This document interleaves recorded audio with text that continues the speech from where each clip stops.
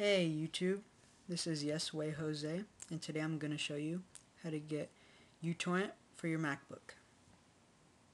First, what you're going to want to do, open up Safari, and with the URL I provided inside of the video description, you're going to want to paste that and enter.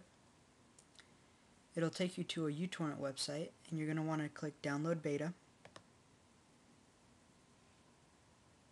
Let it finish downloading. Now you can close out of your downloads page. You can close out of your Safari page. And then you're going to want to grab the uTorrent. You're going to want to insert it inside your applications folder. Now you're finished with this. You can close it. Open up your applications. And there it is. Your uTorrent.